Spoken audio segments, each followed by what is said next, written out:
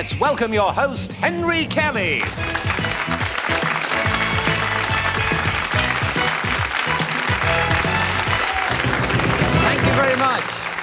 Welcome again. Oh, thank you. Welcome again to Going for Gold, our European quiz program with contestants from 14 different countries competing for a truly wonderful prize. Now, people who've been watching the show and newcomers, they like to be reminded every now and then of the way we play this game. Well, each game we start off with seven contestants, then we have four that go into the first round proper, then three into four in a row, and then finally two fight it out head to head for a daily prize. Now, the reason for that is simply that on Going for Gold, Everybody gets a second chance, and they've got four days in which to prove themselves. What happens is that at the end of every week, we've got a weekly winner. They go through to the semi finals. Look who's in the semi finals already. Well, there they are. Scotland, Richard Leslie. England, Sue Balaam. Sweden, Pia Olsen. Austria, Peter Schmidtbauer. Then from Denmark, Einar Carstensen. Northern Ireland, Jeanette McConnell. And then from last week from Wales, Helen Keatley. Now, any of those could be the eventual winner. Any of today's contestants could be. If they are, they get the title and they win this prize. The series winner will fly to Seoul in Korea and spend two weeks discovering this fascinating country, enjoying the delights, sights, and atmosphere of Southeast Asia's unique culture. An experience to remember, and you'll be there as athletes from all over the world strive to win gold. Accommodation, all meals, and tickets to final events and the fabulous closing ceremony are included. A great prize for the series winner of Going for Gold. That is a truly great prize. Well, at the start of every show, we play that elimination round. We begin with seven contestants from seven different countries. Only four will go through to the first round proper. As soon as you know the answer to the questions I ask, buzz in, please, contestants. And the first four correct answers will see four people into that first round today. Here we go. What am I? I am a brilliant feat of 19th century engineering in New York. I was the first bridge to use steel for cable wire. I'm a suspension bridge spanning Switzerland. The Brooklyn Bridge. The Brooklyn Bridge is correct, Switzerland. You're in the first round. Well answered, sir. Right, we've won. The other questions for the rest of the contestants. What am I? I am a herbaceous plant that has been cultivated in the Mediterranean region since before the Christian era. I'm usually orange in colour, but can be white, yellow, or purplish. I'm used in salads and served as cooked vegetables. I'm a valuable source of nutrient and supply carotene or provitamin A. England. Carrot? A carrot. England was surprised, but right. Okay, yes. A carrot, right. We have two contestants into the first round proper. We need two more from the five of you who remain. What am I? I'm a capital city located in one of the world's most scenic natural settings on the slopes of Table Mountain. I am located some 50 kilometres Germany. It's the capital of South Africa, uh, Johannesburg. Is not the correct answer. The rest, Belgium, Uh, Durban. is not the correct answer. Scotland, Scotland, Town. Cape Town is correct. You got there eventually. Well done. Sorry, we have to be fair to everybody. Two wrong answers, but we got the right one eventually. So, hands on the buzzers again. I need just one more from the final remaining four of you for today's first round. What is my name? I am a snow-capped and often covered by cloud. I am the highest mountain peak in Greece. According to Homer's Odyssey, my summit never has storms. In Greek mythology, I was regarded as the home of the gods, and the site, Germany. Olympus? Olympus is correct, Germany. Well done. And you are in the first round proper today, which means that just for today, we have to say goodbye to Denmark, Belgium, and the Republic of Ireland. But we see you guys tomorrow, okay? Now, I'm going to go and join Switzerland, England, Scotland, and Germany in that first round. Come with us.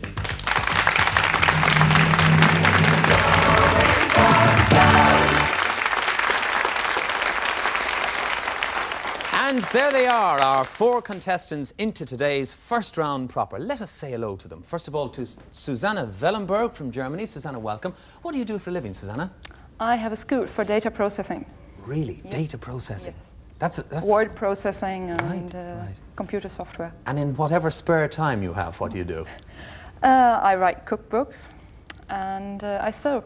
And you sew. So it Did you make that? Yes, I did. Well, that in itself would deserve a round of applause, as also when we wish you luck in today's programme, Thank does you. Susanna. from, From Scotland, where of course we've already had uh, somebody through to our semi-finals, we welcome Vivienne Sterling. Vivienne, what part of Scotland? From Edinburgh, the capital. Isn't it a lovely city? Beautiful city, A city, lovely yes. city. You live in a wonderful place. Vivienne, what do you do for a living? I work with the Open University. Do you? Yes. Good. All right. Well, if you know the answers to the questions today, they'll be proud of you. Good luck in the show anyway, Vivienne. Daphne Hudson comes from England and has appeared, you've appeared in television a few times, Daphne. Yes, uh, mainly in Australia. Really? Yes. In yes. Australia? Yes, I was lucky enough to get invited over there and oh, I had a fantastic time. I hope they're going to ask me back. Oh, well, I, I'm sure. We'll send it out specially to them on a postcard, uh, Daphne. you. Anyway, good luck to you in today's programme. Thank you. And from Switzerland, we welcome Manfred Kettenbach. Manfred, um, what do you do for a living? I'm a systems engineer and I work for a computer company. Good. Well, that, that taxes the brain. So in your spare time, what do you do? I collect jazz records. Do you? Old time jazz. Old-time jazz records. All right. Well, I hope everything goes very well and successfully for you and all our contestants in today's programme, Manfred.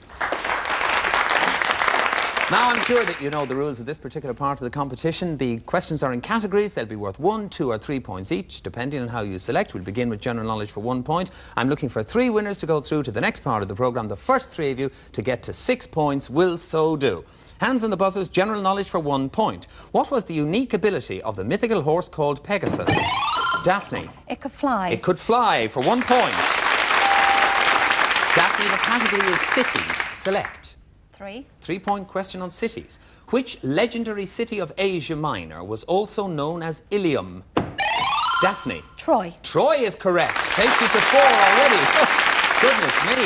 The category is sports facts. Daphne. Three. Three point question on sports facts. This would be for a win. Brazil and what other country have won the association? Daphne West Germany. is not the correct answer. The rest of the question for the rest of the contestants, Manfred? Italy. Italy, you knew, had won the Association Football Cup three times. Manfred, well done. It takes you to three, and the category now is religious faiths. Select. Three, please. A three point question for a win for either you or Daphne. The Sunday that falls on the 50th day of Easter is an important holy day commemorating the descent of the Holy Spirit. Daphne. Whit Sunday. Whit Sunday is correct, Daphne. Seven points and in the next round. All right, so Manfred, you're in the lead. Vivienne and Susanna yet to score. General knowledge for one point. Which American actor was catapulted into stardom having appeared in The Graduate? Vivienne. Dustin Hoffman. Dustin Hoffman for one point is correct. The category is flowers. Select. Uh, three. Three point question. You thought about that for a moment. Vivienne, I thought at first you weren't good on flowers, but you obviously are. Japonica and Sasanqua are types of which flowering? Vivienne. Oh. Forsythia. No, is not the correct answer. The rest of the question for Manfred and Susanna flowering garden shrub. Anybody want to guess? No, we're out of time. I was looking for camellia. That would have been the right answer. Hands on the buzzers again. General knowledge for one point. In ballet, how many dancers are involved in a pas de deux? Susanna. Two. Two is correct, Susanna. Oh, Susanna. Susanna, I'd love to let everybody through just Yeah, for I'm answering one question, but we, Susanna, the category is food. Select. Three. Three point question on food. What kind of food are you buying if you purchase red snapper? Manfred. Fish. Fish is correct for three points. And you're in the next round, Manfred. Well played. So it's between Vivienne and Susanna for that last place in the four in a row round for today. General knowledge for one point. Which zodiac sign is depicted by the goat? Vivienne Capricorn. is correct, Vivienne. Takes you to two. The category now is music. Select, Vivienne. Three. A three-point question on music coming up. Which deep-pitched brass wind instrument with valves is called by the medieval Latin word for the trumpet? We're out of time. I was looking for the tuba. The tuba. General knowledge for one point again. With which Asian country is the Tang dynasty associated? Um, Vivienne. China. China. China is correct, Vivienne. Takes you to three. You're getting there in ones, Vivienne, and that's as good as any other way. The category is the United States of America. Select. Three. Three for a win. Who was the President of the United States when the stock market crashed in 1929? Vivienne. Hoover. Hoover is correct. The six points you need, you're in the next round. Susanna. Yes, Vivienne. So Vivienne goes through to our next round, which means that today, alas, from Germany, we have to say goodbye to Susanna, but we'll see you tomorrow on Going for Gold. Thank you for being with us, Susanna. Now, after our Beat the Buzzer round with our three contestants, it's time to play four in a row.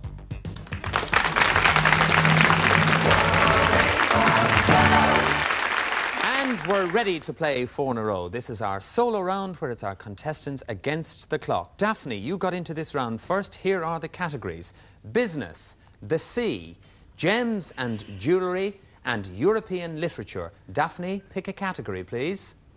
Oh, they're all awful. Um, I'll have gems and jewellery. Gems and jewellery. Daphne, will you come and join me here, please, for your solo four in a row round on gems and jewellery? And I'll explain. Well, you know how it works. How are you feeling, Daphne? Nervous. Are you? Yeah. But you're an expert I at know, these quiz games. You've played them all over the world. You know how hard they can be. Yes, yes. All right, Daphne, let me explain to you how four in a row works. Well, obviously, your aim is to score four in a row. You will score one point for each question that you answer correctly. A wrong answer takes you all the way back down to zero. Daphne, we'll put 40 seconds on the clock for you. Now, you'll have the full 40 seconds to answer correctly four in a row, or if not, we will credit you with your highest score. On gems and jewellery, Daphne, your time starts now. Which precious metal has the highest known electrical conductivity of all metals and chemical symbol AG? Silver. Correct. Red varieties of corundum are known as rubies. What are the blue varieties called? Sapphire. Correct. Name the naturally occurring green gemstone used in China for jewellery and carved objects. Jade. Correct. Name the traditional European system of weight that has been used since the Middle Ages to weigh gold, silver, and other precious metals. Troy. Is correct. You've scored four in a row, Daphne. Well, one wonders what Daphne was nervous about. Manfred, pick a category, please. I think I take the sea. The sea. Manfred, will you come and join me here, please, for your solo round against the clock on the sea? Are you a seafaring man, Manfred, at all? Oh, I did a bit of sailing in my younger days. In, in the younger days. All right, Manfred. Well, we'll put 40 seconds on the clock for you now. You'll have those 40 seconds to answer correctly four in a row, or we'll credit you with your highest score. Manfred, on the sea, your time starts now. Who wrote the 1952 story of one Cuban struggle against a giant marlin in The Old Man and the Sea? Hemingway. He did. Which 1975 movie featuring a shark playing havoc at a resort proved a major box office hit? Shark 1. Shark 1 or Jaws, that will do. What is the largest species of whale? The blue whale. That is correct. In Greek mythology, Odysseus traverses the narrow waters guarded by Scylla and whom? Pass. Charybdis. What name has been given to the region of the North Atlantic in which more than 50 ships and 20 aeroplanes have mysteriously disappeared? The Bermuda Triangle. Is correct. The long line method used by the Japanese is primarily used to catch which fish? Whale. No, tuna. Which sea is the lowest body of water? Oh, hard luck, Manfred. I was going to ask you lowest body of water on Earth. It would have been the Dead Sea. You didn't quite score four in a row, but you got up to three, Manfred. Very well played. In case you were wondering there, and the question about Jaws and the shark, our adjudicators were able to tell me that in Manfred's own country, that's the only way he would have known the film that we know as Jaws. Vivienne, you have two categories left. Which one will you select? European literature. European literature. Vivienne, will you join me here, please, for your solo round against the clock on European literature? You know how it works. We'll put 40 seconds on the clock for you now. You'll have those 40 seconds to answer correctly four in a row. If so, and you get the four in a row, you're in the final with Daphne. If you even make three, you're in a tiebreaker with Manfred. Vivienne, on European literature, your time starts now. What was the first name of the Norwegian playwright Ibsen? Pierre. No, Henrik. Which Nobel Prize winning French novelist was killed in an automobile accident in 1960? Albert Camus. He was. Whose Death in Venice was reworked in a 1971 movie? I don't know. Thomas Mann. Which Italian playwright could claim his Enrico IV as a 20th century masterpiece? Pirandello. Which literary genre means in Icelandic what is said or told? Saga. Is correct. Who was Don Quixote's squire in the novel by Cervantes? Sanchez Panza. Correct. The death of which leading German dramatist in 1805 caused Goethe to feel that he had lost half his existence? Oh, don't know. Schiller it was. Whose Divine Comedy completed... Oh, sorry, Vivienne, you've just run out of time. You didn't manage to make it to four in a row today, but you did score two. Thank you very much, Vivienne.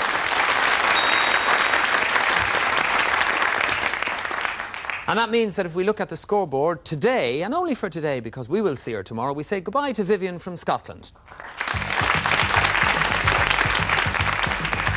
Now I'm going to invite Daphne, who scored four in a row, and Manfred, who got up to three, to come and join me in today's final of Going for Gold. Please.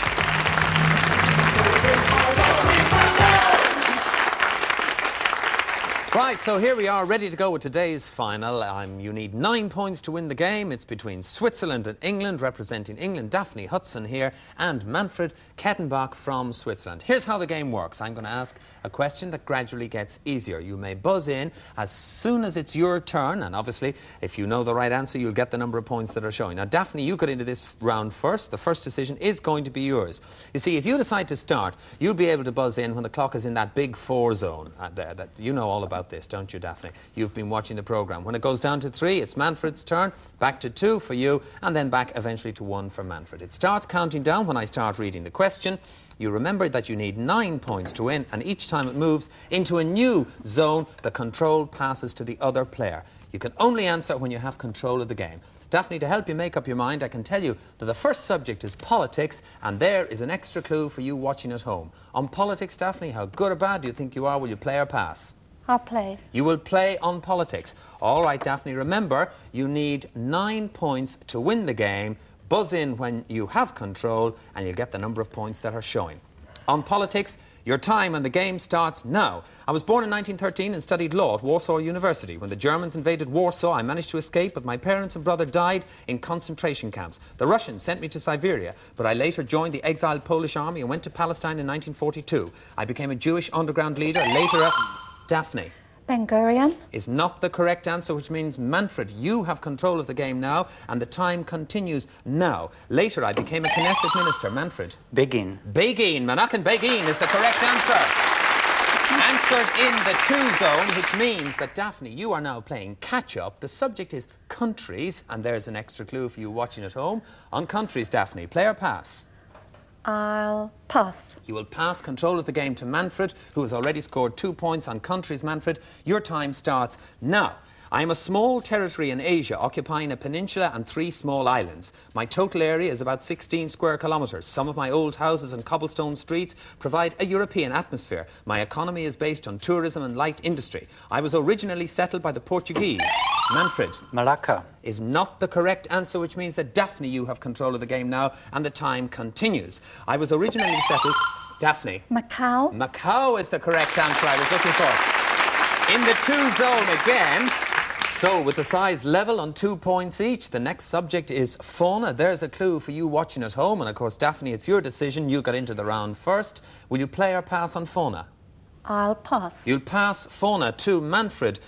With the scores level between England and Switzerland, your time, Manfred, on fauna starts now. I am an animal. I am nocturnal hunter feeding on insects, snakes, birds and small mammals. When cold weather comes, I hibernate. I have short ears and legs, a short tail and a long nose. My back is covered in stiff, needle-like growths called spines. Daphne Porcupine. is not the correct answer. Manfred, you have control of the game and time continues now.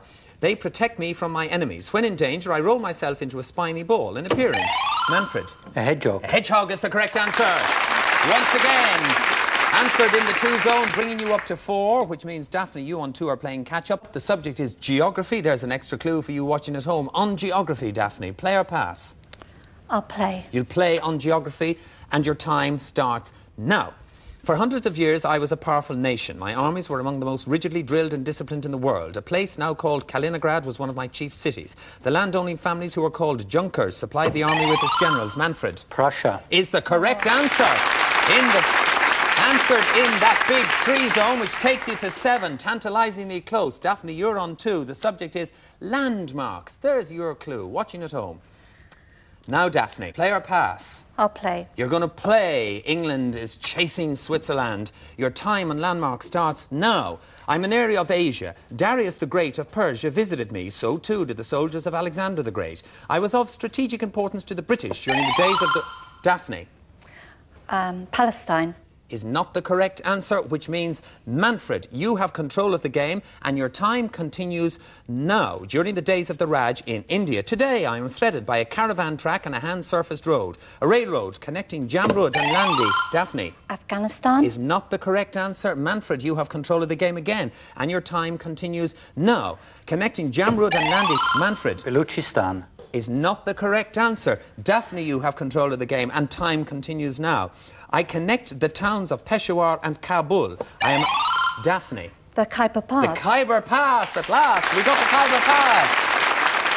Answered in the one zone, just took you up to three. The next subject is 20th century figures. There's a clue for you watching at home. Daphne, 20th century figures. Player pass? I'll play. You'll play. You've got to play and catch him up, Daphne. Your time on 20th century figures starts now. I was born in China in 1898 and died in 1976. While in France in the 1920s, I became a communist. Daphne Chiang Kai-shek. is not the correct answer. Manfred, you have control of the game and your time. You're on seven points to Daphne's three. Time continues now, Manfred. I return to China. Manfred Ho Chi Minh. is not the correct answer. Daphne, you have control of the game and time continues now. I return to China and took part. Daphne. Chu En Lai. Chu En Lai, very well played.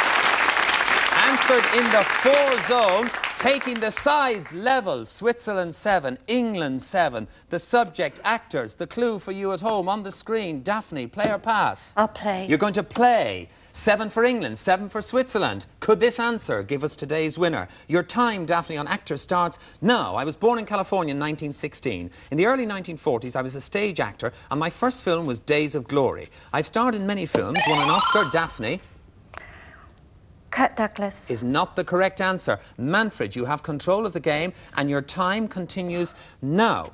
I have starred in many films, won an Oscar for To Kill a Mockingbird, gained other nominations, and a Special Academy Award for Manfred. Nicholson. It is not Nicholson is not the correct answer. Daphne, wait for it, Daphne. Your time continues now. You have control of the game, especially Daphne. Gregory Peck. Yes, Peck. I knew she knew Gregory Peck. She knew Gregory Peck. It means that you're today's winner, Daphne. Well played indeed. Not only are you through to the final of this week later on in the week, but you've got this lovely memento of your achievement, which is exclusive to winning contestants on Going for Gold. Daphne, congratulations. So, Manfred, Manfred from Switzerland, you gave us a great game, and of course, because of the nature of the programme, we'll see you tomorrow on Going for Gold. Thanks everybody for a lovely game and a great day. Thank you for watching. See you again tomorrow on Going for Gold. Bye bye.